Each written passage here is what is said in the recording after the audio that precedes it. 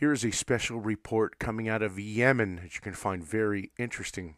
According to multiple sources, Gulf soldiers, including in Emirati, have been killed in Yemen, according to media reports, as fighting between Houthis and pro Hadi forces continues. Now, the reports go on to state that much equipment was destroyed.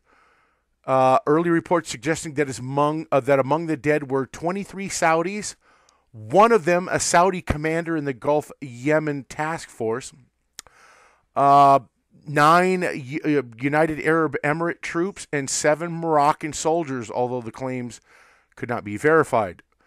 United Arab Emirates State News Agency reported on Monday morning that one of its citizens had been killed in the fighting. The General Command of the United Arab Emirates Armed Forces today announced the death of martyr Sultan Mohammed Ali al Ketbi while taking part in the Saudi led Arab coalition's operation. Now, as I stated, they said that quite a bit of equipment was destroyed in here helicopters uh, and other items like that, right? Well, let's take a look what Press TV is reporting on the same story.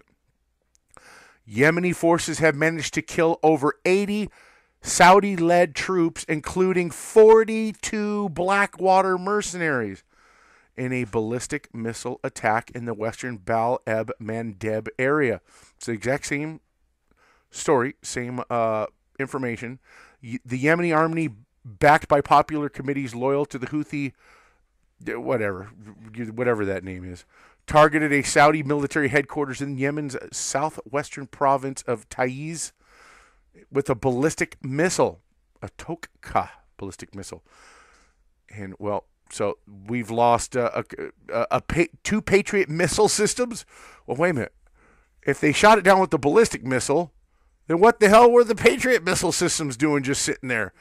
Three Apache helicopters, more than 50 military vehicles, all belonging to the U.S. Blackwater Worldwide Security Services Company. Wow.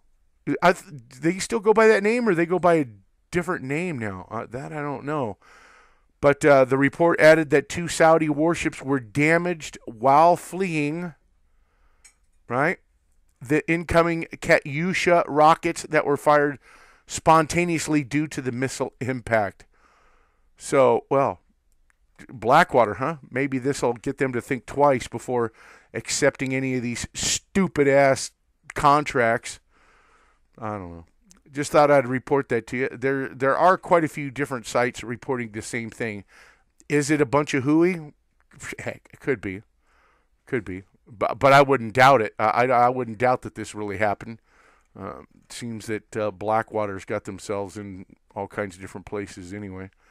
But uh, just thought I'd share that with y'all. Check it out. Links in the description box. Thanks.